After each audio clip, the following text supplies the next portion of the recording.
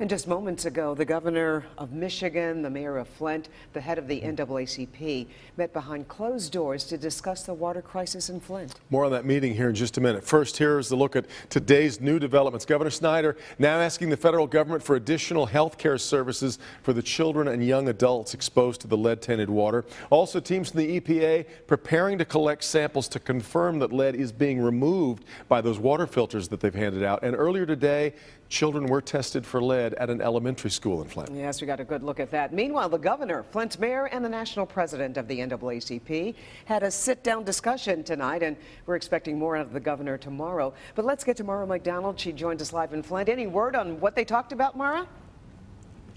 Good evening to you, Carmen. And we hear it was how Flint got here, how Flint's going to get out of this mess, as well as resources for people in this city. Meanwhile, you're right. Be expecting more out of the governor and Flint Mayor Karen Weaver tomorrow morning.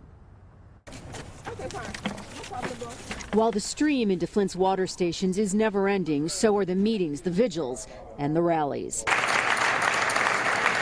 Tonight, the NAACP and its national president rolled into town for a public forum, while across town, several activists and ministers prepare to recall the governor, which, even though it is likely to go nowhere, It has to send a message because what it has done, it has waken up our nation. there is plenty of hostility for Rick Snyder here, but also plenty of blame being heaped on government at all levels. It's not just blaming the state. It's blaming the federal government, which was Jennifer Crooks.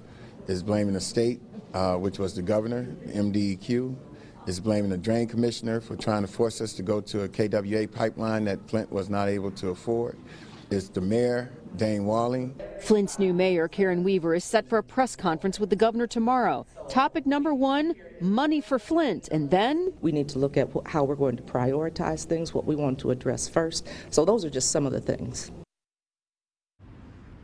Back here live, as far as that press conference goes, be expecting more about the response here from the state as far as testing the water for lead, as well as National Guard response. Meanwhile, let's also remember that host, MSNBC host Rachel Maddow brings her show to Flint tomorrow night for a town hall meeting. We'll be here.